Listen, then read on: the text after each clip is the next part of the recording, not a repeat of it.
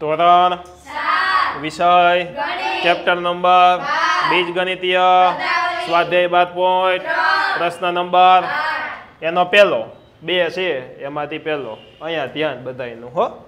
જો એક્સ બરાબર દસ હોય તો આ એક કિંમત આપી છે. એક્સ ઘન ઓછા ત્રણ કાઉન્સમાં એક્સ ઓછા દસની કિંમત શોધો. તો આ જી જેની કિંમત શોધવાની છે એનું પહેલાં સાદું રૂપ આપણે કરવું જોશે. એક્સ ઘન ઓછા ત્રણ કાઉન્સમાં ઝેડ ઓછા દસ. જો તમે સાદો રૂપ ન આપો અને ઝેડ બરાબર દસ લેવાના છે, તો અહીંયા ઝેડ બરાબર દસ. જો એમનેમ કરીએ, આમે સાચું જ પડે. હાલે હો. જો અહીંયા દસનો ઘન. દસનો ઘન એટલે શું થયું? હજાર. એક પછી ત્રણ મીંડા. ત્રણ ઘાત છે એટલે ત્રણ મીંડા.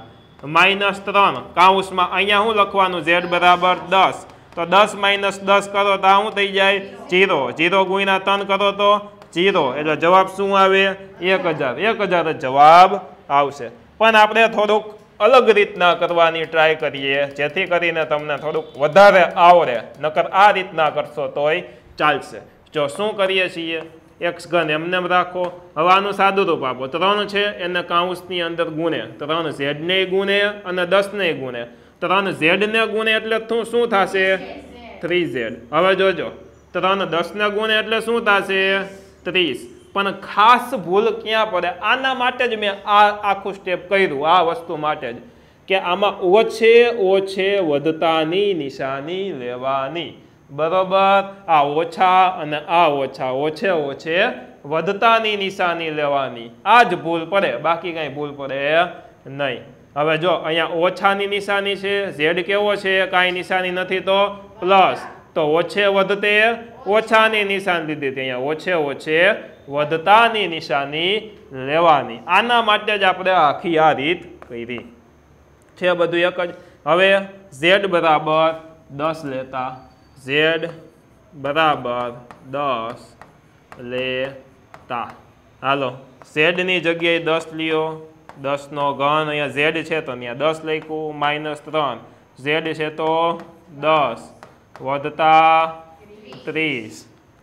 હવે દસનો ઘન શું થાય?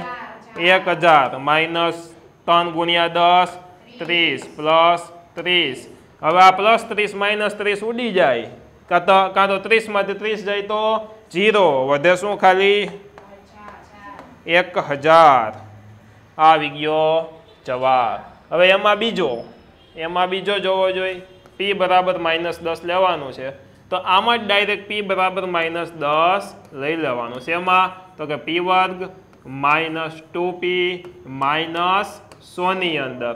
શું લેવાનું? પી બરાબર માઇનસ દસ લેતા. હવે આમાં ખાસ નિશાનીઓમાં ધ્યાન દેવાનું. માઇનસ દસ લેવાનું છે. તો પી છે, એમાં હું માઇનસ દસ મૂકું, વર્ગ છે તો વર્ગ કરું. ઓછા બે પી છે, તો ત્યાં કાઉન્સમાં માઇનસ દસ લખું, ઓછા સો. હવે જોજો, માઇનસ દસનો વર્ગ કેટલો થાય? દસનો વર્ગ સો. અને કોઈનો વર્ગ જગતમાં કોઈ દે ઋણ હોય નહીં. આ આપણું સૂત્ર છે. શું છે? કોઈનો વર્ગ જગતમાં કોઈ દે ઋણ ન હોય. એટલે બે બેકી ઘાત છે, એટલે માઇનસ હોય. તેમ છતાં પણ એ પ્લસ થઈ જાય, ધન થઈ જાય. એટલે દસનો વર્ગ સો. ઋણ હોય એ ધન થઈ જાય. જોજો, દસ બે, વીસ. ઓછે ઓછે વધતા. માઇનસ સો. પ્લસ સો, માઇનસ સો, ગયા. વૈધું શું? વીસ. આવી ગયો આનો જવાબ. લખી લ્યો.